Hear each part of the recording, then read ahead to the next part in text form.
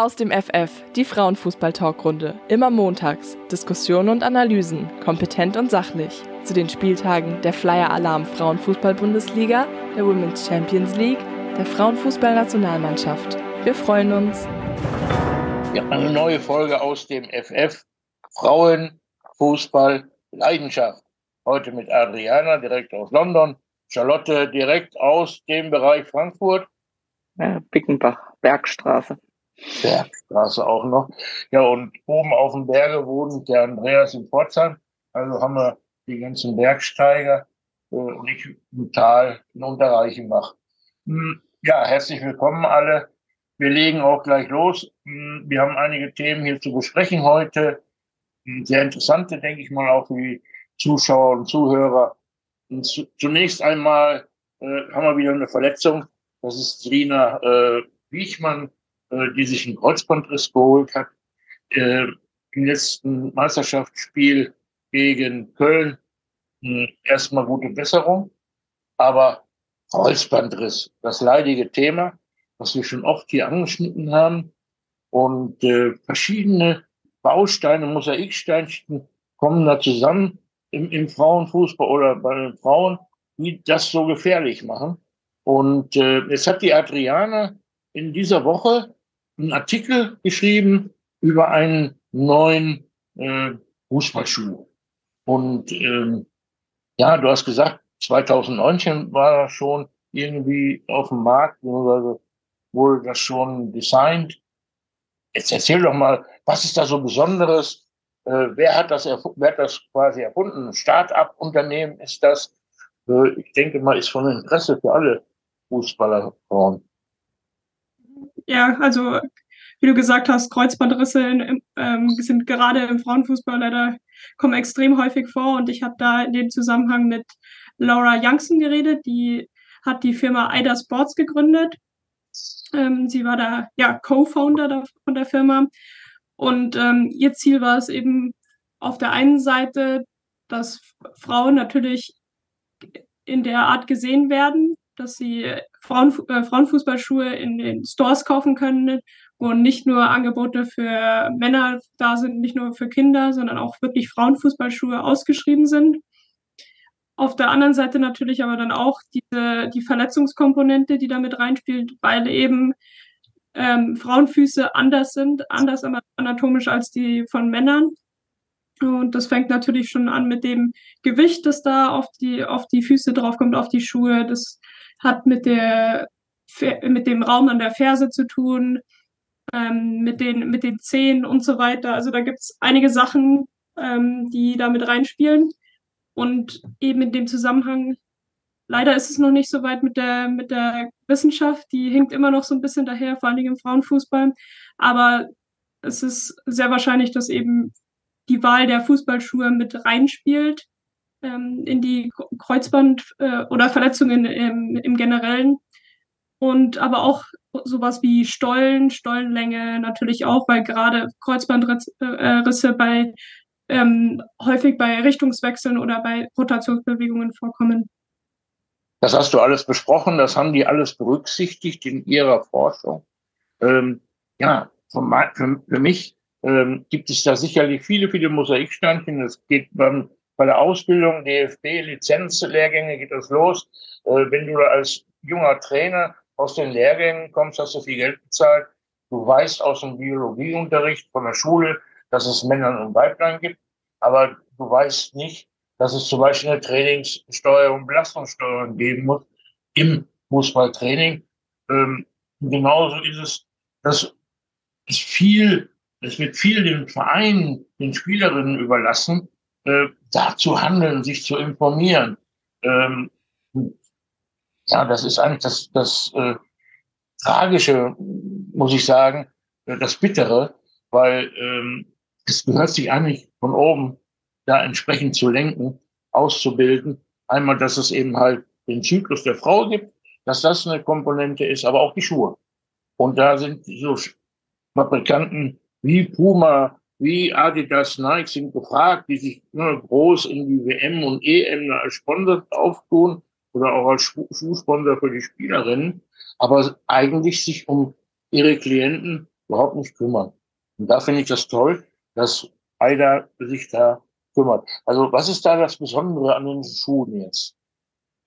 Also vor allen Dingen eben diese ganzen Komponenten, die ich vorhin aufgezählt habe, die werden da so gut wie möglich berücksichtigt und gleichzeitig ist aber auch, ähm, dass, dass die Firma sehr eng zusammenarbeitet eben mit Wissenschaftlern, die in dem Bereich tätig sind. Ich habe auch schon ähm, im letzten, letzten Jahr ein Interview geführt mit Dr. Katrin Krieger, die eben speziell äh, darauf spezialisiert ist, die auch mit äh, der Firma zusammenarbeitet und ihre eigenen Forschung anstellt.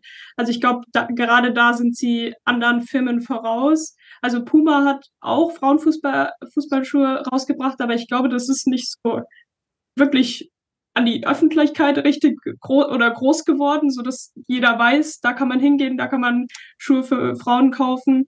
Also ich glaube, da kann auch noch einiges mehr gemacht werden in dem Bereich. Als das rauskam mit Puma, Entschuldigung, wenn ich die anderen jetzt ein bisschen außen, außen vor lasse, als das mit Puma rauskam, mit den Frauenfußballschuhen, da bin ich dann gleich zu Intersport hier in, in Pforzheim und habe dann gefragt, ja, wie sieht's denn aus? Habt ihr von Puma äh, diese Schuhe? Was? spezielle Frauenfußballschuhe. Also wenn hier bei uns ein Mädchen oder eine Frau kommt und möchte Fußballschuhe, dann verkaufe ich denen kleinere Schuhe im Herrenbereich. Dann habe ich versucht, dir mal klarzumachen, dass es da Verletzungsrisiken gibt. Da wissen wir nichts von. Du konntest also nur über einen Katalog diese Puma-Schuhe bestellen und die sind natürlich unglaublich teuer, die kosten über 230 Euro. Äh, wer kann sich das im Amateurbereich oder auch in, sagen wir, in der Regionalliga oder der zweiten Liga dann unbedingt leisten? Andreas, jetzt nehme ich dich damit rein. Wir haben so oft über diese, ich sag's einfach mal, Scheißverletzungen gesprochen, ähm, die sich ja nun wirklich durch alle Ligen, alle Klassen ziehen. Wichtige Spielerinnen fallen aus. Wie siehst du das ganze Problem wenn du jetzt das mit dem Schuh, mit dem Zyklus jetzt weißt, wie stellst du dich dazu? Es ist, es ist eigentlich traurig, dass, dass die, die Forschung da so, so weit hinterherhinkt und dass man jetzt so nach und nach mal anfängt, äh, in dem Bereich zu forschen oder, oder Dinge zu entwickeln. Äh, ja, wir können ja für die WM dieses Jahr im Sommer beinahe eine, eine Mannschaft stellen mit Kreuzbandverletzten, die, die um den Titel spielen könnte. Und das ist ja so traurig, weil, aber von, von der Spitze mal abgesehen, wir haben auch diese Verletzung in der Bundesliga, in der zweiten Liga. Es sind durch die Bank Spielerinnen von allen Vereinen in allen Ligen betroffen und ja, und, und man versteht eigentlich nicht, dass die, die Forschung jetzt erst anfängt, dass man jetzt erst drauf kommt und sagt, ach, man muss ja man muss das ja für die Frauen speziell die Schuhe entwickeln. Ach, man muss ja die Trainingssteuerung auf den weiblichen Zyklus auch abstellen. Mein Gott, wie weit hinterher ist man denn da? Und man kann nur hoffen, dass die Entwicklung jetzt sehr, sehr schnell vorangeht, weil was ich ja oft sage, wir wollen die besten Spielerinnen auf dem Platz sehen. Ich will keine, keine Postings sehen, wie die Reha vorangeht, sondern ich will sie spielen sehen. Und, und zwar von allen, von allen Vereinen möchte ich am liebsten alle Spielerinnen fit auf dem Platz sehen. Und das ist so traurig zu sehen. Also mir geht es inzwischen schon so, wenn ich ein Spiel verfolge, ob im Stadion oder am TV, wenn eine Spielerin am Boden liegt und sich das Knie hält, dann ist mein erster Gedanke, oh bitte nicht schon wieder Kreuzband. Egal welche Spielerin von welchem Verein, man einfach diesen, diese Horrorvorstellung. Und das muss, das muss besser werden in den nächsten Jahren. Ja, jetzt habe ich äh, in dem Zusammenhang mehrfach den DFB angeschrieben, auch den Ausbildungsleiter. Ähm, habe den versucht aufzuklären, dass du doch mal eine Modul oh, erstmal wollte ich Informationen haben. Äh, wie sieht denn so eine Ausbildung überhaupt aus, bevor ich anfange zu meckern? Habe ich natürlich nichts über Frauenfußball und Mädchenfußball in den einzelnen Lizenzstufen gesehen. Äh, habe dann auch einen Gast gehabt bei mir im Talk, die eine B-Lizenz gemacht hat. Gab's nicht. Ne? Also ich habe mich da schon informiert. Ja, kam dann die Antwort. Ähm, Leider haben wir das noch nicht, aber wir werden da was tun. Es scheint es so zu sein, dass er jetzt im neuen Jahr äh, einen Baustein in den oberen Lizenzbereichen äh, dann halt einbauen, Belastungs- und Trainingssteuerung. Ja, das ist ja schön und gut. Aber es fängt ja bei der C-Lizenz schon an, äh, wo man mit Mädchenfußball und auch mit dem Frauenfußball in unteren Ligen anfangen. Da fängt es doch an, da nach Empathie zu entwickeln für die Belastung im Training. Ja? Und äh, da wird auch viel zu wenig gemacht. Da wird zu viel über den Spielerinnen überlassen, die dann beim Verein vielleicht einfordern, hey, ich habe da mal was gehört über eine App, da gibt es eine Steuerung und so weiter und so fort. Und dann bemüht sich vielleicht der Verein, äh, da was zu tun. Einige Bundesligisten, ich denke mal auch Frankfurt, wird da sicherlich ein, einiges tun. Äh, könnte ich mir vorstellen, aber trotzdem, auch bei Frankfurt passiert es halt. Ne? Äh, ja, ich hab, kann ich nicht beurteilen, inwieweit bei uns da was getan wird in, in der Trainingssteuerung.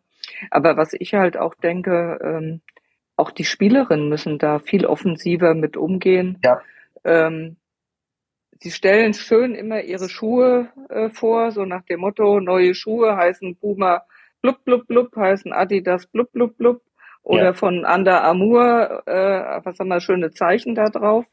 Und gerade wenn jetzt Puma so einen Schuh hat, und wir haben ja doch relativ viele Spielerinnen in der Bundesliga, die Puma-Schuhe tragen, die müssen das dann vielleicht auch noch mal mehr sagen. Das ist ein spezieller Schuh auch doch mal für uns Frauen oder sowas oder für uns, für die jungen Mädels, ja. ähm, um damit auch noch mal mehr Druck ähm, auf auf zum Beispiel Puma zu machen oder im Gegenzug auf Adidas oder auf Under Armour auf, oder auf Nike oder wie auch immer die Firmen heißen, ähm, da auch so ein, so ein, ja, darauf hinweisen einfach und nicht ja. einfach einen schönen neuen Schuh in, ins Bild halten und auf Instagram oder Facebook oder wo auch immer, TikTok, keine Ahnung was, äh, zu posten.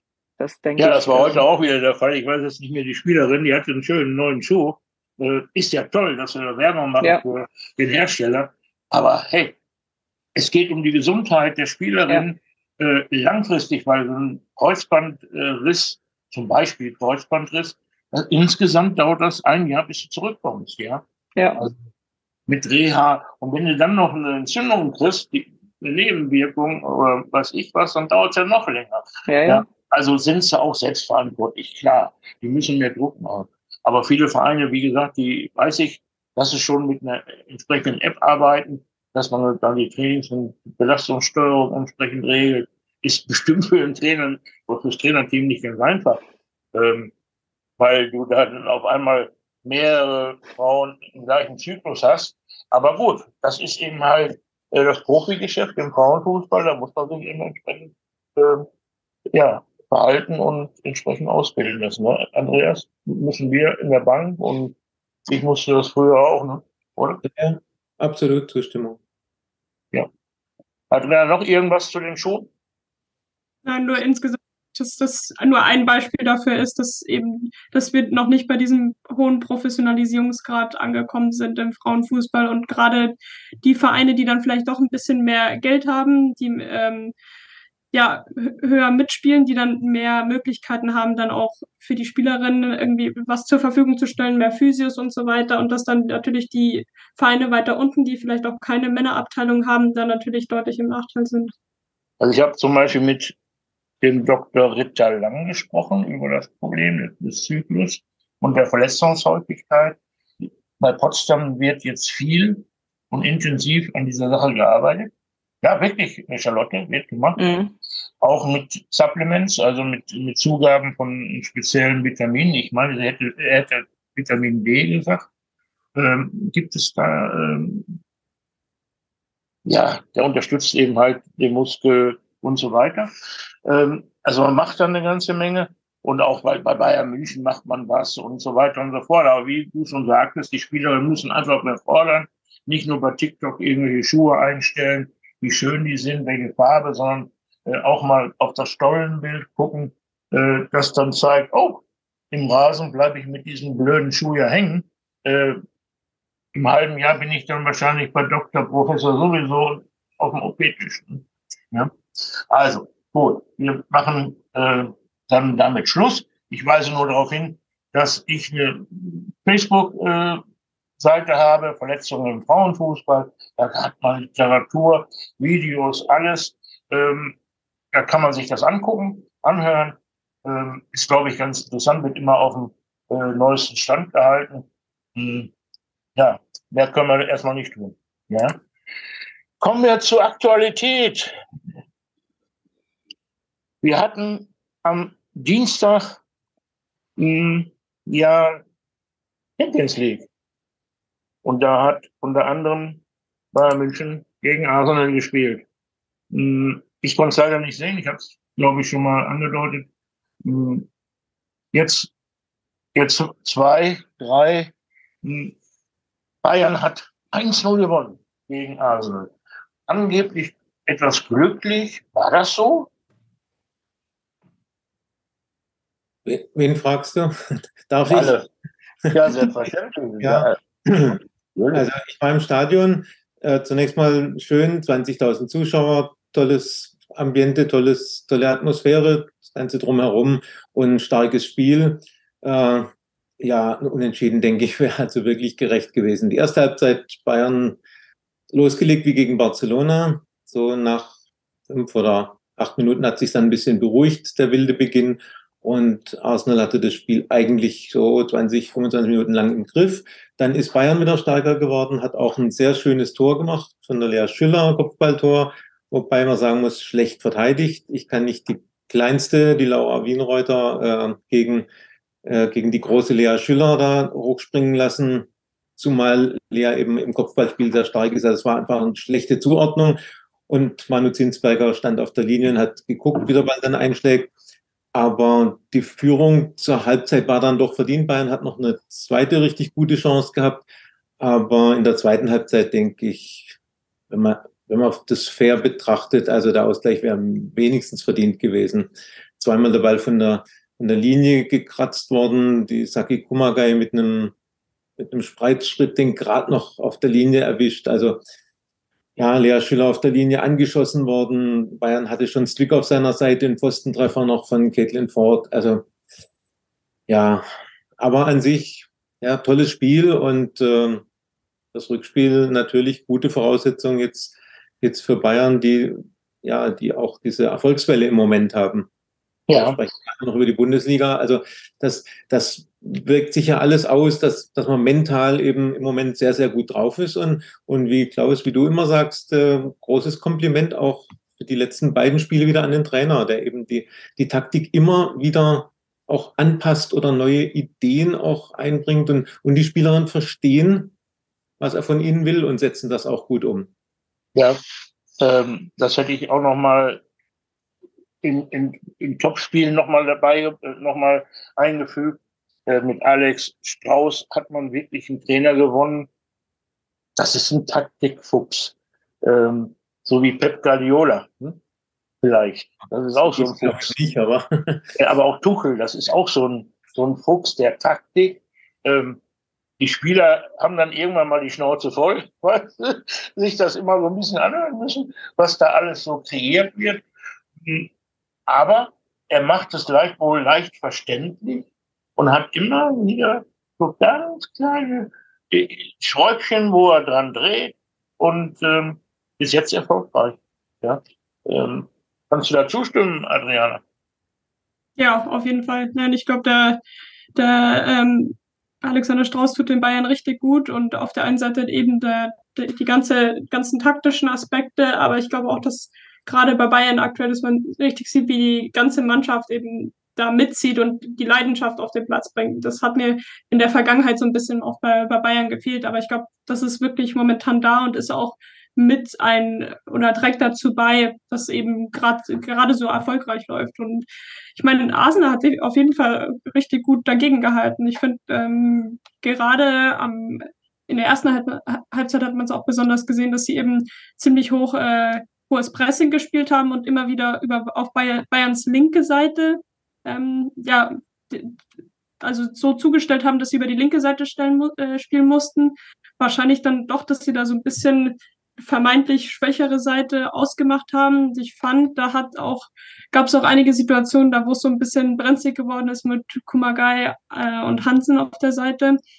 Aber zum Schluss natürlich dann gut, gut verteidigt. Und ja, Kumagai, ich fand, sie hat nicht ihr bestes Spiel gehabt, aber dadurch, dass sie dann diese Weltklasse-Rettungsaktion hatte auf der Linie, das hat es natürlich nochmal noch mal rausgehauen. Ich glaube, Lea Schüller hat später auch nochmal auf der Linie geklärt.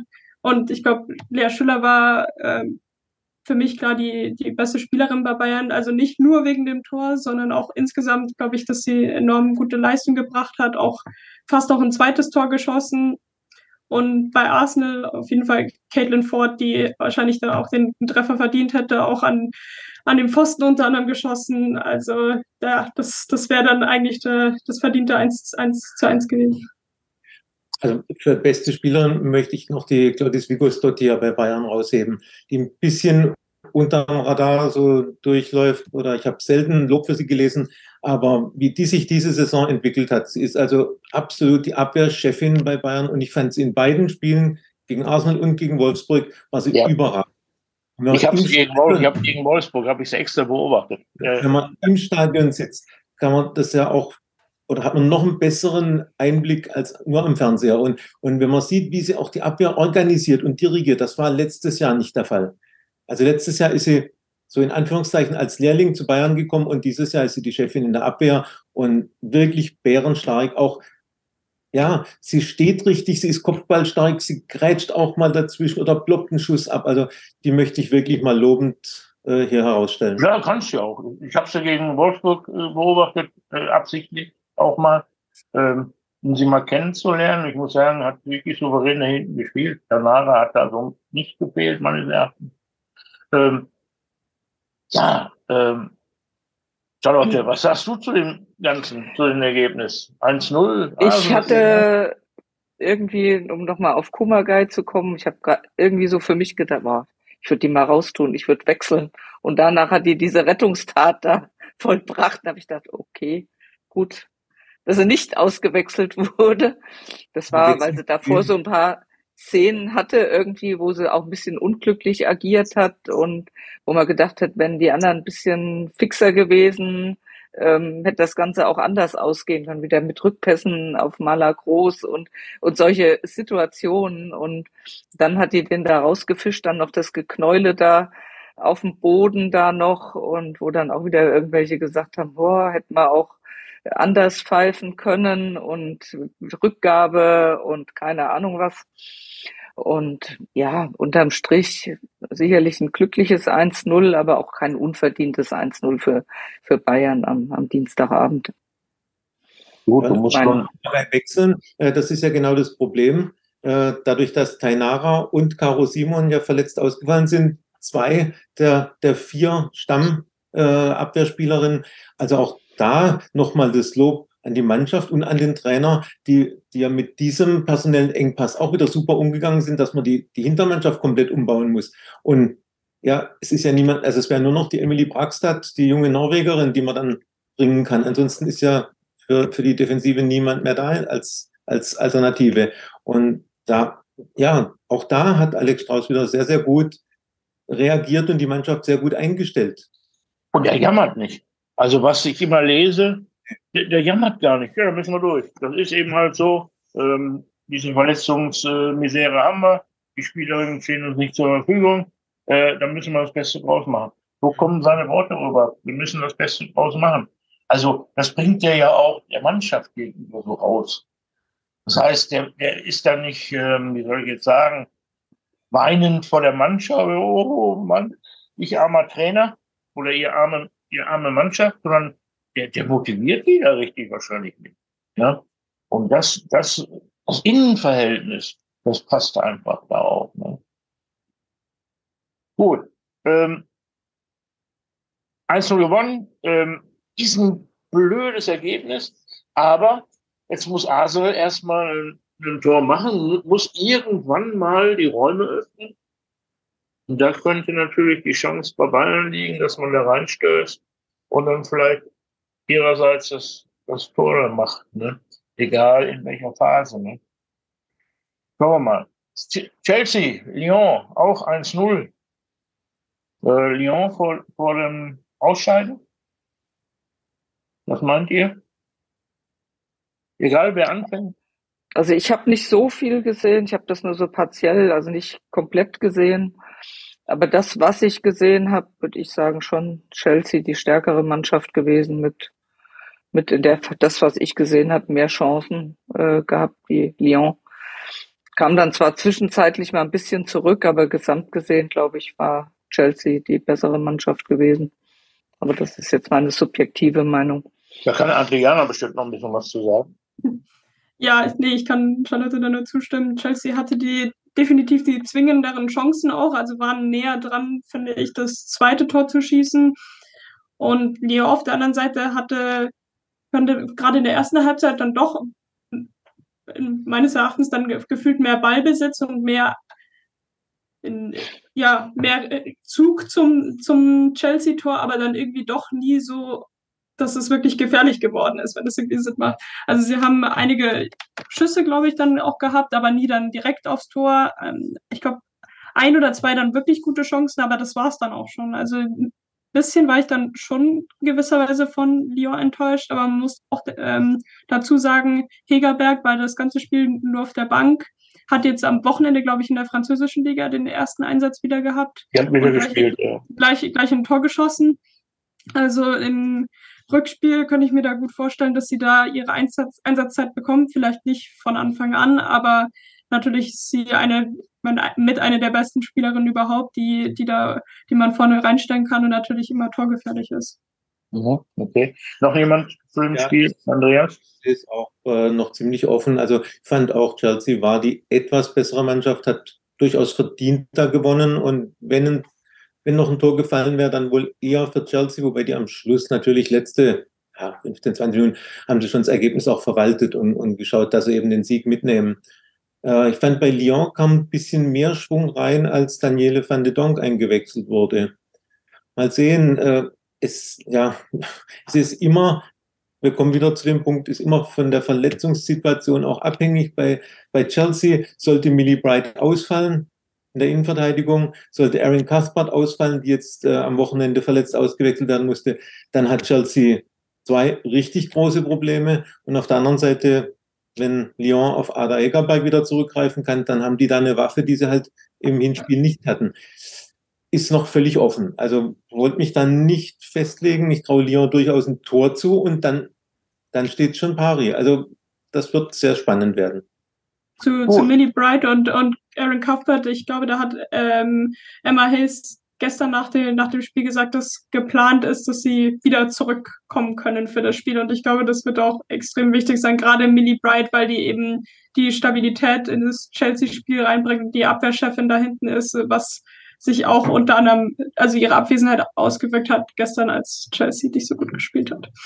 Ja, und, und Aaron Cuthbert im Mittelfeld. Die, also für, für unsere deutschen Zuhörer kann man es in etwa so vergleichen, die, die, ja, wie Georgia Stanway bei Bayern. So unglaublich wichtig Mittelfeld, was die an Bällen zurückerobert, was sie auch Chancen kreiert, aber selber auch den Abschluss sucht. Also ja, neben Bright und Kerr ist für mich Kasper die, die zentral wichtigste Spielerin bei Chelsea. Also hoffen wir mal, dass beide spielen können beide bei Chelsea und bei und Hegerberg bei Lyon, dass einfach die Top-Spielerinnen da sind und dann freuen wir uns auf ein tolles Spiel, denke ich. Charlotte, freuen wir uns denn auch ein schönes Spiel Wolfsburg gegen Paris oder Paris gegen Wolfsburg? Hm, nee, Wolfsburg gegen Paris, so rum ist es. Die haben ja auswärts gespielt. Ähm, ja, ich glaube, das ist äh, insofern ist das jetzt nochmal interessanter geworden aufgrund der Niederlage am am Freitag, glaube ich, äh, am Samstag, sorry, ähm, ist das schon ein schwieriges Spiel, glaube ich, für Wolfsburg. Und sie haben auch in Paris in meinen Augen nicht überzeugt. Ähm, mit Glück äh, den Elfmeter hatten für mich im ganzen Spiel keine zwingende Torchance gehabt. Also eigentlich ein glücklicher Sieg in Paris gewesen für Wolfsburg, in meinen Augen. Hatten auch, haben auch aus der halben Stunde Überzahl nichts gemacht, in meinen Augen. Okay. Ähm, also auch ziemlich offen, das Rückspiel, ja. obwohl Wolfsburg ja. zu Hause spielt. Ja. Aber mental angeschlagen. Ja. Die, sind, die sind einfach mental angeschlagen nach der, nach der Niederlage. Ne? Ja, gut. Hm, überraschend Barcelona, äh, Rom auch nur 1-0? Oder war das vorhersehbar, dass es so knapp werden könnte? Was sagen die Experten? Ich habe einen klareren Sieg für Barcelona erwartet, aber trotzdem ja, ist das, das ist von den vier Spielen das eine, wo ich denke, da wird am wenigsten passieren oder am wenigsten anbrennen. Barcelona wird es daheim sicher durchbringen.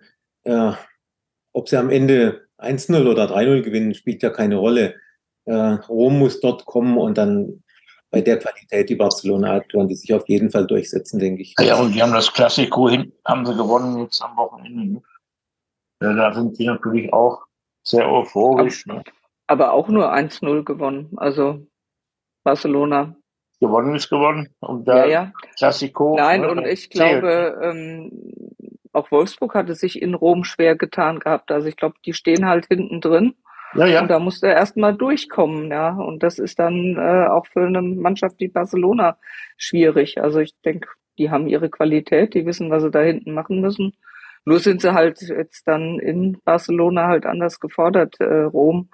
Und von daher denke ich auch, dass das da eine klarere Kiste wird, wie, auf, wie das Hinspiel in Rom. Ja, das 0-0 steht, äh, dann müssen die irgendwann mal aufmachen, wenn sie was wollen dann hat äh, Barcelona natürlich wirklich die Räume auch. Ne? Gut, äh, verlassen wir die Champions League? Ist das für euch in Ordnung soweit? Dann ja. Ja, okay. Gehen wir in die englische Liga. Kurz rein. Was haltet ihr davon? Ich kann nicht viel zu sagen, weil ich da jetzt am Wochenende nicht so viel mitgekriegt habe. Wo wollen wir zuerst hin? Ja, wahnsinnig spannender Titelkampf. Äh, Chelsea hat jetzt äh, bei Man City verloren. Das heißt, äh, die ersten vier haben alle noch Titelchancen. Es ist unglaublich eng und spannend und äh, ja, und dadurch auch sehr attraktiv. Und, und wenn ich mal wieder das beitragen darf, die WSL hat ja das Women's Football Weekend ausgerufen. Ja, weil ansprechen, ja. Genau, ja, Länderspielpause hatten, keine Premier League-Spiele waren. Und äh, bei den sechs Spielen sind 66.000 Zuschauer gekommen. Also, ja, das ist immer wieder beeindruckend, wie, wie die das Marketing betreiben, wie die Vereine äh, Werbung machen und wie dann auch die Zuschauer in die Stadien strömen. 66.000 Zuschauer bei bei sechs Spielen. In der Bundesliga waren es jetzt nur fünf Spiele, weil ein Spiel ausgefallen ist, aber da waren es bei fünf Spielen 6200. Also da muss man nicht mehr viel, viel, zu sagen, was man noch an Nachholbedarf hat. Und, ja, und das, das, wichtigste Spiel, das wichtigste Spiel vor 2-5. Ne? Ja. Also, ja, und, und zu den Ergebnissen selber vielleicht ein bisschen überraschend, dass Chelsea bei Man City verloren hat. Äh, für, für uns Arsenal-Fans war es unglaublich wichtig, das North London Derby bei den Spurs zu gewinnen. 5-1 sollte Selbstvertrauen geben für, für die Aufgaben der neuen Woche. Adriana, du? Noch ein bisschen was ergänzen zu den Spielen? Ja, also ähm, natürlich Man, Man City gegen Chelsea. Manchester City hat gleich in der ersten Halbzeit die beiden Tore geschossen. Ähm, ja, wie, wie vorher schon erwähnt, eben dass Millie Bright da deutlich in der Abwehr gefehlt hat. Da hat Chelsea viel zu viel ähm, zugelassen da hinten und vorne dann nicht die, die eigenen Chancen nutzen können. Emma Hayes hat nach dem Spiel dann gesagt, dass, ist, dass der, die Niederlage auf ihre Kappe geht. Ähm, aber meinte auch in dem Zusammenhang, dass, dass sie einfach momentan zu viele Spiele haben, dass die Belastung irgendwie extrem hoch ist, was klar ist der Fall, aber das gilt auch für andere Mannschaften, wie unter anderem Arsenal. Und ähm, ja, also vielleicht war dann schon so in gewisser Weise schon der Fokus auf den nächsten Champions League-Spiel. Man weiß es nicht genau, aber ja, man kann, kann nur hoffen, dass da die, die verletzten Spielerinnen zurückkommen für die Champions League und ja, insgesamt auch zu dem, zu den ganzen Zuschauerrekorden oder zu neuen vielen Zuschauer, den großen Zuschauerandrang in der WSL ist natürlich ja gerade an diesem Wochenende im Gegensatz zu dem zu dem Bayern-Spiel, das nur am Campus ausgetragen wurde. Und ja, jetzt hast du schon die Hinleitung zu, zum nächsten Thema. Genau, aber ähm, jetzt habe ich den Faden verloren. Genau, wir, wir werden zum nächsten Thema rübergreifen, zur, zur Bundesliga, das meinst du? Ne? Genau. Okay. Ja, dann hatten wir am Dienstag parallel äh, zur äh, Champions League hatten wir das Spiel äh, Potsdam gegen Köln.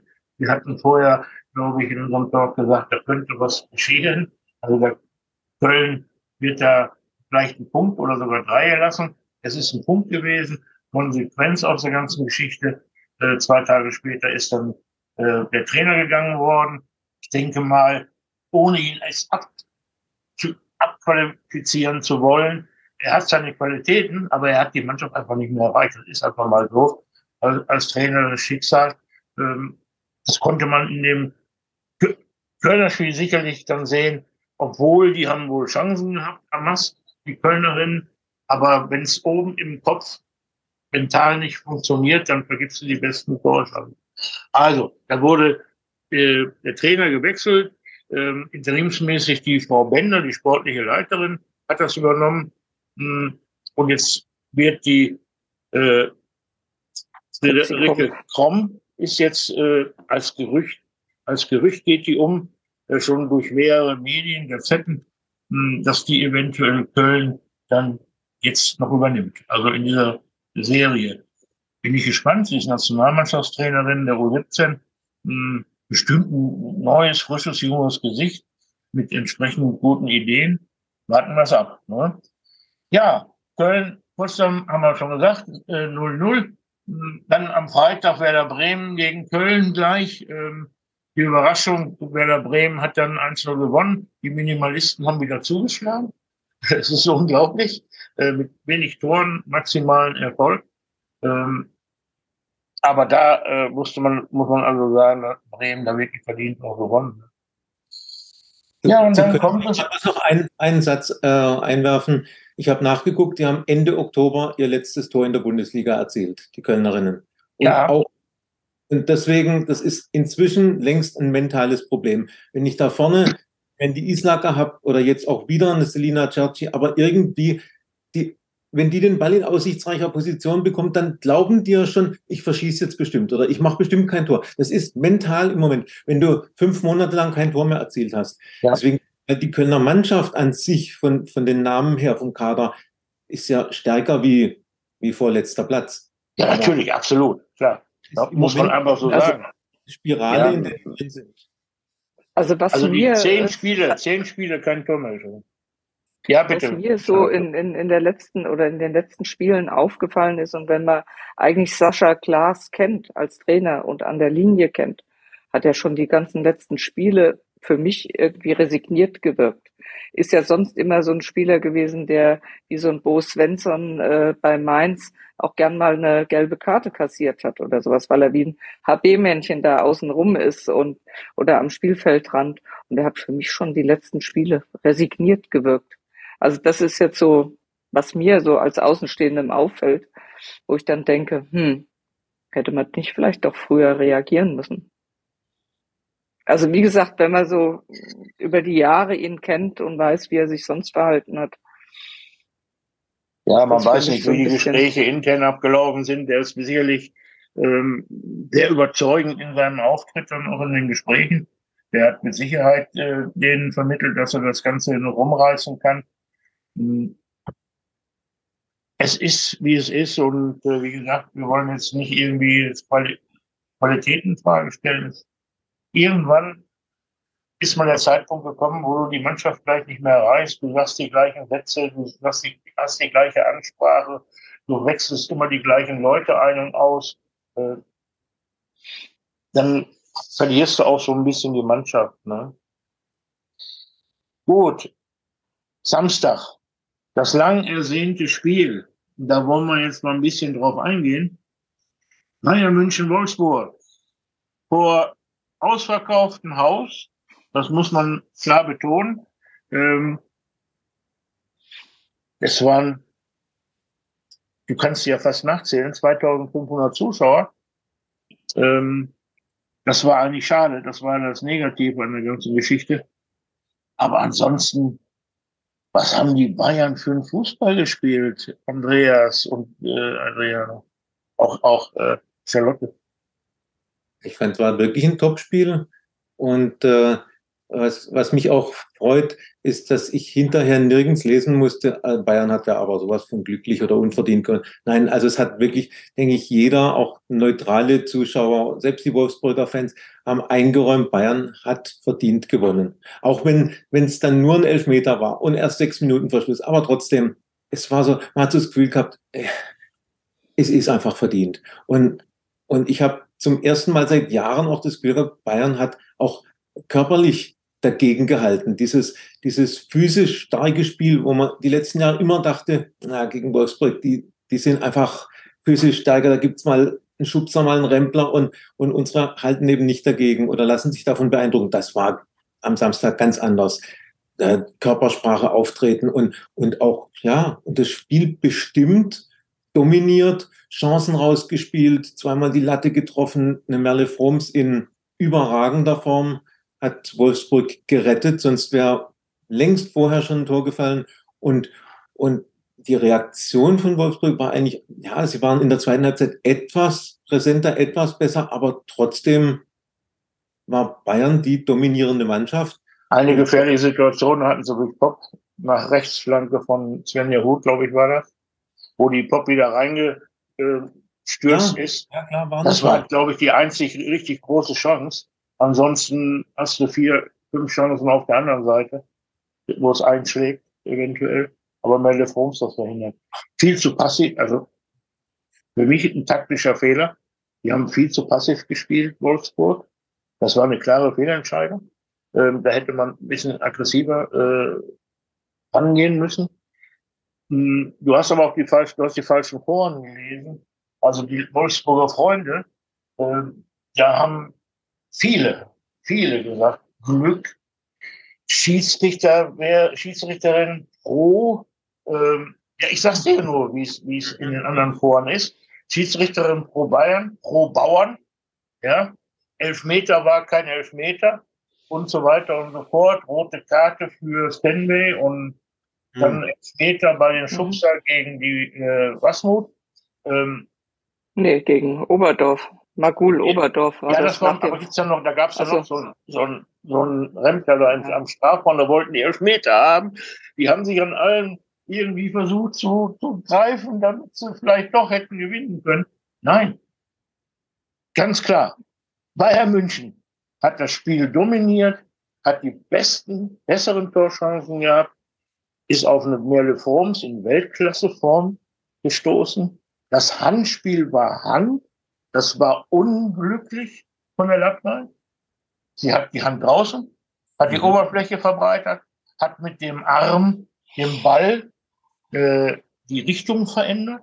Dann kam es dann auch noch zum Nachschuss, der war auch noch drin. Mhm. Und da kann man drehen und wenden, wie man will. Da hätte sie nicht gepfiffen, wäre der Nachschuss drin gewesen. Hätte es auch ein dann, und das Argument, da kam natürlich dann gleich das Argument der Wolfsburger, ähm, ja, die haben alle abgeschaltet nach dem Pfiff. Äh, die haben nicht abgeschaltet, weil der Pfiff und der Schuss, die kamen so äh, schnell hintereinander, da gab es nichts zum Abschalten. Das sind alles irgendwo Argumente. Schlechte Verlierer. Ich kann nur sagen, absolut schlechte Verlierer. So haben sich die Bayern, wo sie mal 6-0 eingekriegt haben, haben sich die Bayern aber nicht verhalten. Was ich so beobachtet habe.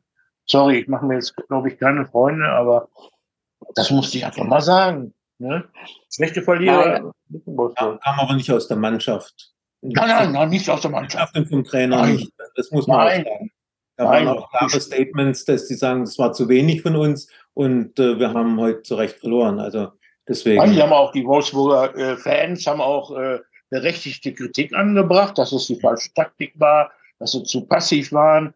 Äh, genau das, was ich jetzt auch gesagt habe, äh, haben die auch. Und Sie haben auch dem äh, Tommy Stroth äh, Wechselfehler äh, vorgehalten, dass er immer die gleichen Leute austauscht und dafür die gleichen Leute also wieder immer wieder reinnimmt.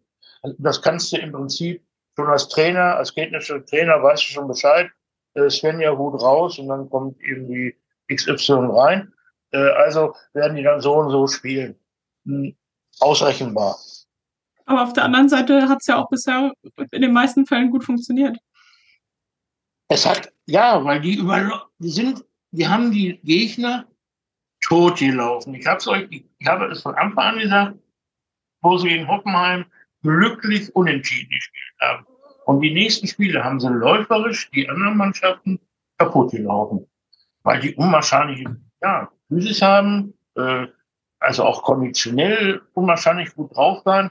Wenn, wenn du die Jahre ausschalten kannst zum Beispiel, die, die Hut rausnimmst aus dem Spiel, da hast du schon ein paar Prozent weg.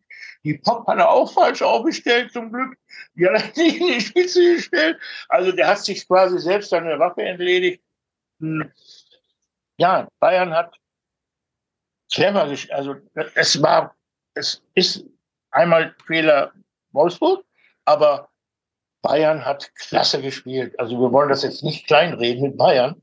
Ja, Bayern hat klasse gespielt. Das Alexander Strauß und muss ich wirklich loben, immer wieder loben, äh, betonen. Das, der, das ist ein Fuchs. Das ist einfach ein Fuchs, die Mannschaft folgt. Also ich, ich bin ja Bayern-Fan, weiß man, und will deswegen jetzt nicht sehr in, in die Wolf, Wolfsburger Geschichte eingreifen oder so, aber ich muss sagen, wir standen ja hinterm Tor und dann habe ich eben schon vor dem Spiel erfreut festgestellt, in der Startaufstellung weder eine Jule Brandt noch eine Sven Jons dort hier.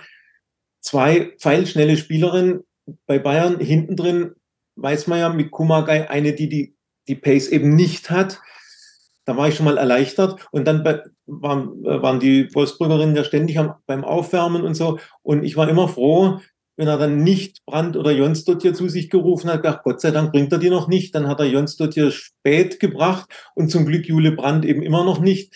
Ja, 85. Minute. Naja, also jetzt aus Bayern Sicht, ich, ich kenne natürlich die, die Fitness, Fitnesszustand und, und alles oder, oder die zuletzt gezeigten Leistungen von den Wölfen nicht. Deswegen, da kann ich jetzt nicht Kritik am Trainer üben. Ich kann nur sagen, so aus Bayern Sicht, wir waren froh und erleichtert, dass die zwei schnellsten Spielerinnen nicht gebracht wurden und auch die Umstellung nach dem Pajor raus zur, Halbzeit, glaube ich, äh, dass eben dann äh, Alexandra Popp nicht in die Sturmmitte gerückt ist, sondern weiter sehr zurückgezogen gespielt hat oder auf dem Flügel gespielt hat, waren wir alle ein bisschen erleichtert. Ob es die richtigen Überlegungen waren, das kann nur Tommy Stroth oder die, die Insider bei Wolfsburg beurteilen. Oh, das sicherlich können, können er das beurteilen, bloß äh, ähm, der weiß auch selber, dass er da irgendwo vielleicht einen Bockmist gebaut hat. 46. Minute kam die Wilms für Hering, 59. Minute äh, Jungsortier für Rott, Rot, Borg, äh, 59. Wasmut für Pajor, 85. Minute Brand für Rauch. Also so eine Stürmerin wie, wie Brand, die bringe ich einfach her. Hm. Irgend, ich kann es nur aus meiner Sicht sagen. Verzockt. Verzockt. Verzockt. Ganz einfach verzockt. Da war der bessere Zocker in dem Augenblick wirklich der Alexander Strauß. Äh, der, hat, der hat ja sein Meisterstück da meines Erachtens immer. Ob sie Meister werden, weiß man nicht. Sie können noch ein Spiel irgendwo verlieren, sie können unentschieden spielen, das kann alles noch passieren, weil man steckt da nicht drin. Hm, aber Sie gehen jetzt erstmal in Führung, sind die Gejagten, nicht mehr die Jäger. Ähm, mag ein Nachteil sein, kann aber auch Vorteil sein. Ne? Jetzt sind wir froh, dass sie gewonnen haben. Ähm, ich denke mal, ist das eingetreten, wo, wo ich schon lange drauf hinfiebert habe, dass es so kommen wird. Ähm, und ähm, ja, ähm, was will man dazu sagen? Bombenspiel. Also wirklich ein Bombenspiel. Und äh, die, die Mannschaft von Wolfsburg so äh, rauszunehmen aus dieser Geschwindigkeit, aus diesem Umschaltspiel. Phänomenal. Ne? Trotz der vielen Verletzten auch bei Bayern München. Ne? Das muss man ja auch klar sagen. Ne? Möchte noch einer zu, jemand zu diesem? Äh, einzige, was ich finde ich schon, was man vielleicht auch erwähnen sollte, ich sage jetzt mal die Situation mit Margul, ja. Oberdorf und so weiter, das fand ich jetzt äh, ja nicht gut, sage ich jetzt mal. Und ähm, fand die Reaktion von Magul fand ich halt einfach nicht in Ordnung. Also ja, darf, bei allem Respekt, ähm, ja. Mhm. also das ist, finde ich, gehört sich einfach nicht. Gut, ähm, das V-Spiel war natürlich gegen Sidney Lohmann. Wow. Da müssen wir nicht drüber reden. Das, da müssen wir so, nicht drüber reden. Daneben, da hat sie daneben gestanden und hat dann eben halt ähm, ja, aber das, ihre Kollegin ja. geschubst. Ne? Also ich finde, das gehört sich nicht. Das ist Nein, unsportlich. Weil haben beide ihre gelbe Karte gekriegt und ich denke, das darf eigentlich einer Nationalspielerin oder einer Kapitänin äh, nicht passieren. Ja, also, hast du, hast, bin ich bei dir, ist so. Ähm, aber beide haben die gelbe gekriegt. Es war hart an der roten Karte, kann man auch sagen. Ähm, ja. Wäre die Schiedsrichterin auf die Theatralik reingefallen, wäre äh, Lina runtergegangen, muss man auch ganz klar sagen. Ja. Tatsachenentscheidung beide gelb. Ne? Nein, gut, dass du das gesagt hast. Äh, das habe ich jetzt. Ich meine, ich habe irgendwo gelesen, die haben sich danach irgendwie nochmal ausgesprochen, die zwei, wie auch immer. Ähm, aber trotzdem ist sowas, finde ich, darf nicht passieren. Ja, nein, nein, vollkommen richtig. Dafür sind wir ja auch hier. Das sprechen wir hier auch ja. an. Äh, dürfen wir auch ansprechen. Äh, müssen wir auch ansprechen. Und dass die sich natürlich als äh, Nationalspieler nachher nochmal wieder austauschen, ist auch ganz klar. Ne? Gut. Ähm, noch eins, Wolfsburg noch was sagen. Dann ähm, ganz kurz, Hoffenheim gewinnt das nächste Spiel, also auch das zweite Spiel unter dem neuen Trainer. Sind sie schon sieben Spiele ungeschlagen. Also die haben da jetzt mittlerweile einen kleinen Lauf. Hm, Leverkusen hat sich gegen Freiburg anscheinend ein bisschen stabilisiert. Freiburg ein bisschen den Trend nach unten, verliert so ein bisschen an Konstanz. Ähm, Duisburg gegen Frankfurt hatten wir uns vorhin unterhalten. Der Lotte ist ausgefallen wegen strömenden Regen. Hm. Wir haben darüber gesprochen, dass man hätte vielleicht eher auch reagieren können, ja, damit, äh, auch das dürfen wir hier ansprechen. Also ich muss dazu sagen, ich war äh, am Wochenende 30 äh, Kilometer von Duisburg entfernt bei meiner Schwester gewesen in Hilden und war Samstag in Duisburg gewesen, weil mein Neffe da einen 10 Kilometer Lauf hatte und da hat es schon geschifft ohne Ende. Also den Samstagnachmittag und dann hat es eigentlich fast die ganze Nacht durchgeregnet. Ähm, und ich glaube, da hätte man auch schon Sonntagmorgen gucken können, mal wie der Platz aussieht. Denn ab, glaub, 11 Uhr war die Aktivierung von der äh, Mannschaft gewesen, von Eintracht Frankfurt. Und da hat es nicht geregnet. Also die sind da im Trocknen durch Duisburg gedappelt. Und dann zwei Stunden später oder zweieinhalb Stunden später äh, tut dann die eigentliche Schiedsrichterin des Spieles, sage ich mal, wegen Unbespielbarkeit des Platzes äh, das Spiel nicht anpfeifen, wenn man es ja, mal genau nimmt. Rehm Hussein, ne? Ja, und ich denke mal, das Wasser hat da auch um elf schon so auf dem Platz gestanden. Was man da hätte vielleicht von Duisburger Seite hätte machen können, um das Wasser vom Platz zu kriegen, weiß ich nicht, keine Ahnung. Ähm, oder ob man dann den Rasen kaputt macht, keine Ahnung. Aber insofern war das ein bisschen unglücklich und was halt auch bei den Frankfurt-Fans, glaube ich, nicht so gut ankam, war, und es waren wohl zahlreich äh, Fans da gewesen, ähm, dass die sich geweigert haben, sozusagen den, die Karten zurückzuerstatten. Und das mit dem Hintergrund, wo man nicht weiß, wann die dann das Nachholspiel ist und auch nach Duisburg fährst du jetzt vielleicht mal, wenn es unter der Woche ist, nicht mal eben hin. Äh, ich vermute zwar, das habe ich zum Klaus vorhin schon gesagt, dass das an dem Wochenende, an dem Pokalwochenende sein wird, denke ich mal, ähm, nach der Nazio-Abstellung. Aber, ich denk, aber ich denke mal, man kann sich an die Geschäftsstelle von Duisburg wenden, wenn jemand nicht hin kann, wenn da jemand weiß, ja. oh, schaffe ich nicht das Nachholspiel, äh, dann gibt er halt die Karte zurück oder fragt, ob man die Karte zurücknimmt. Ich könnte mir vorstellen, dass äh, der MSV Duisburg kulant genug ist und auch die, weil da, da ist, das ist höhere Gewalt sicherlich, ist ausgeschlossen mit einer Kostenerstattung, aber hey, äh, da werden die so kulant sein und sagen, komm, wir nehmen die Karte zurück. Hat Potsdam ja im, im Grunde genommen gegen Bayern schon auch gemacht. Ist zwar ein anderer Fall, aber äh, ich denke mal, Duisburg wird sich da nicht irgendwie was nachsagen müssen. Ja, jetzt hast, hast, du noch gesagt, jetzt habt ihr so ein bisschen den, Nachteil, ne? Müsst ihr dann ein Spiel nachholen? Hm. Ja, ich finde es jetzt, sag ich mal, halt der Spielfluss fehlt für Frankfurt jetzt vor dem, sage ich jetzt mal, entscheidenden Spiel um Platz drei oder ein, ein entscheidendes Spiel um Platz drei am Samstagmittag. Ähm, Das ist, denke ich, jetzt so ein kleiner Nachteil für Frankfurt oder könnte ein kleiner Nachteil sein, weil man halt einfach die Spielkonstanz nicht hat. Ja, ja, okay. Ähm, jetzt habe ich noch so einen Punkt mit den zwei Diskussionen, die lassen ja nicht nach mit den 2500 Zuschauern. Ähm, ausverkauft, ich, man sieht noch hinter dem Tor äh, leere Plätze. Jetzt haben wir heute eine kleine Erklärung gekriegt von jemandem aus der Fangemeinschaft, dass die Nutzung hat sich im Laufe der Jahre wohl geändert. Deswegen auch die Brandschutzbestimmungen haben sich dann auch entsprechend geändert, sind angepasst worden. Äh, deswegen darf man dort ähm, keine Leute platzieren, äh, wegen auch der Notausgänge. Deswegen 2500 Zuschauer ausverkauft, keine Möglichkeit hinter dem Tor äh, Leute zu platzieren, aus unterschiedlichen Gründen. Wir haben es bei uns in der Gruppe schriftlich, kann jeder nachlesen, wenn er möchte. Jedenfalls ist da eine Erklärung, ist nachvollziehbar. Äh, ich denke mal, das wird auch so passen. Hm. Trotzdem, Andreas, das Topspiel gehört einfach in die Allianz, Allianz Arena. Zum Schluss jetzt nochmal. Hauen wir nochmal einen raus, oder?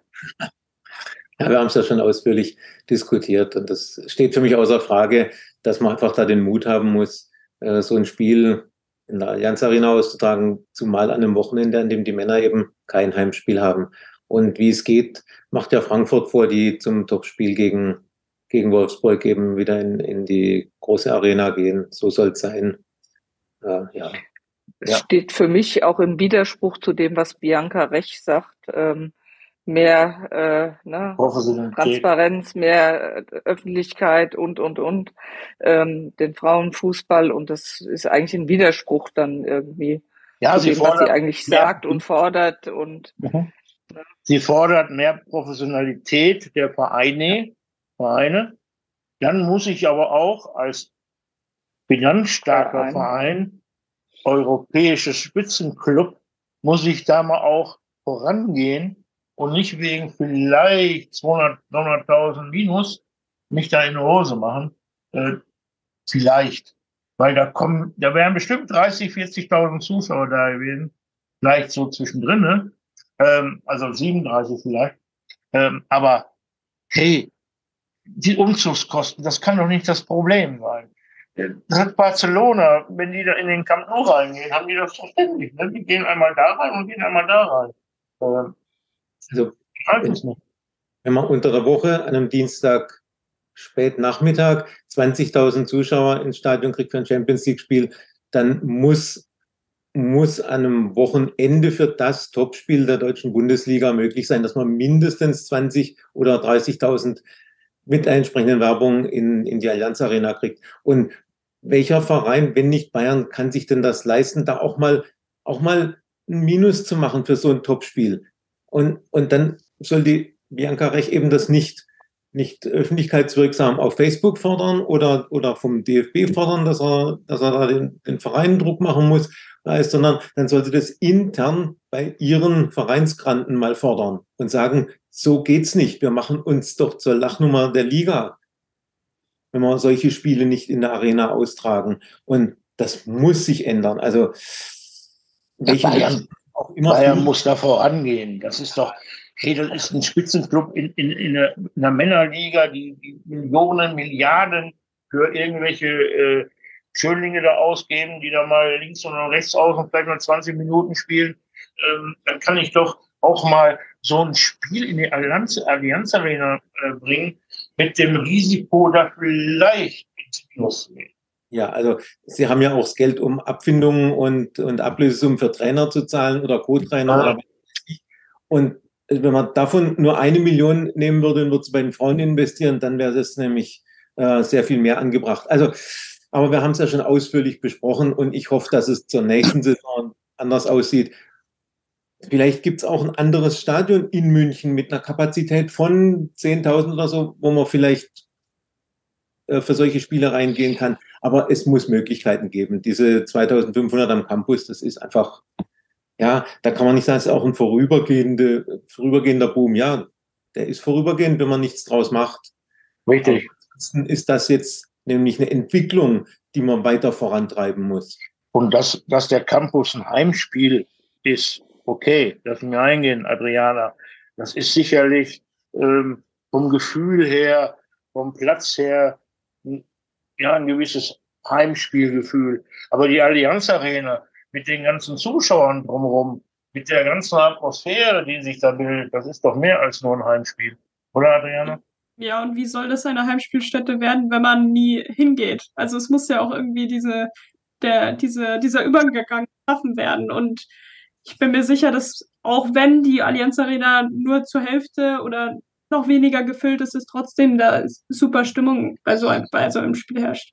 Ja, ich habe ich hab ja nur Ja, auch kann, ja. man kann das ja auch steuern, wie man die Leute setzt. Ja, man muss ja nicht nur eine Hälfte voll machen bis unter das Dach, sondern so wie das in Frankfurt auch war, die haben das von unten nach oben aufgebaut sozusagen ähm, mit den Zuschauern. Je mehr Anfragen kamen, umso mehr wurde nach oben hin ähm, die Ränge geöffnet oder die Blöcke geöffnet.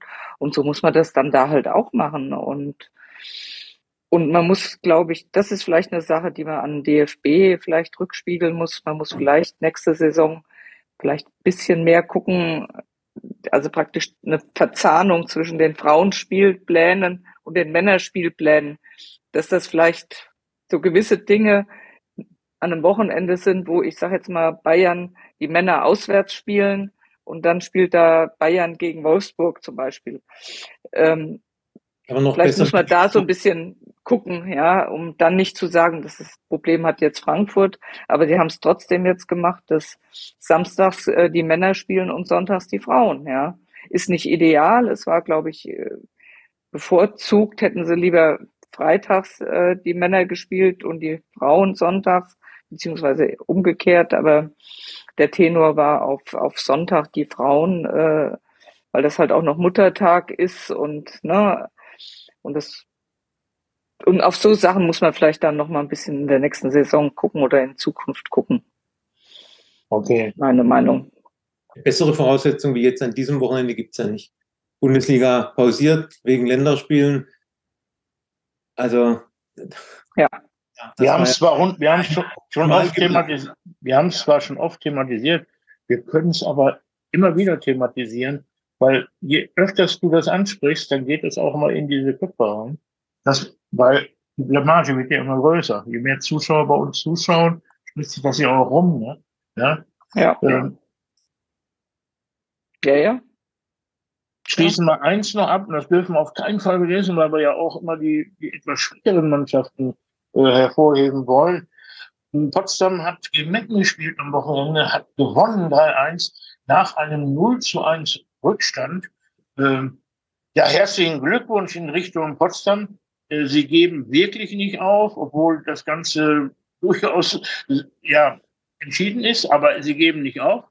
Sie verabschieden sich fair, sportlich fair. Sie machen keine Wettbewerbsverzerrung durch Lustlosigkeit oder dergleichen, wie es vielleicht in manchen Männerligen dann passiert. Haben 0 zu 1 Rückstand umgedreht zum 3 zu 1. Ähm, absolut verdient gewonnen. Äh, Meppen war nie, äh, hatte nie eine Chance zu gewinnen. Also, die haben das zwar, äh, ähm, die haben zwar ein Tor gemacht, aber trotzdem, äh, das 1-0, das war schlecht verteidigt äh, von der Abwehr, aber die haben sich nachher gefunden, die, die Potsdamerin. Also ja, absolut verdient. Aber eins möchte ich dann doch vielleicht in die äh, zu den Zuschauern mal schicken von Potsdam, die immer ganz gerne über die Benachteiligung ihrer Mannschaft schimpfen, ähm, aber richtig schimpfen und auch die Schiedsrichterinnen dann äh, auch dermaßen beleidigen. Vor dem 1-0 gab es ein Handspiel und durch das Handspiel ist ja erst die Torschützin äh, an den Ball gekommen. Ähm, das sollte man vielleicht mal so ein bisschen im Hinterkopf behalten für künftige Situationen, wenn es auch mal gegen Potsdam geht. Diesmal hat die Schiedsrichterin das nicht gesehen. Ähm, keiner macht das absichtlich. Die hat die Wiederholungen nicht im Fernsehen, äh, die man sehen konnte. Und deswegen ist dann auch äh, das Tor gefallen zum 1, zum 1-1 muss es gewesen sein. Und äh, ja, einfach mal Glück gehabt. Und das sollte man einfach mal ja, hinnehmen, sacken lassen. Und bei der nächsten Situation, äh, wenn man vielleicht mal glaubt, man wird benachteiligt, daran denken, der erste Sieg ist auch durch solche Sache entstanden, ja. Haben wir sonst noch was? Habe ich was vergessen? Ich denke mal, wir haben ausführlich diskutiert, viele Sachen angesprochen, die wieder vielleicht hoffentlich zur Diskussion beitragen. Wir kriegen ja öfters jetzt mal Sachbeiträge, auch ziemlich lange. Ähm, ist okay, ne? Solange sie sachlich bleiben, ist, ist das auch in Ordnung. Hm, alle anderen, die überlese ich einfach oder lösche ich, also einfach. Äh, ich muss mich nicht beleidigen lassen oder wir müssen uns nicht beleidigen lassen. Wir machen es ja ehrenamtlich und freiwillig. Ne? Ja, genau. Adriana, dann danke ich dir für den Beitrag auch zu den Schuhen. Ich hoffe, das ist angekommen beim Publikum. Äh, wir, wir können das dann auch äh, nochmal hervorheben bei der Vorstellung des Talks. Äh, der Lotte, danke, ne, dass du auch ohne Natascha gekommen bist. Ne? Ja. ich hoffe nicht, dass die von den Krokodilen gefressen worden ist zwischendurch. Ne? Man weiß es nicht. Everglades. Ne? Everglades, ne? Da ist ja schon mal hier und da ein Krokodil. Andreas, Dankeschön, ne? Ja, dass du wieder dabei warst und da viel zu beigetragen hast. Fachlich und kompetent. Muss man einfach so sagen, ne? Dankeschön.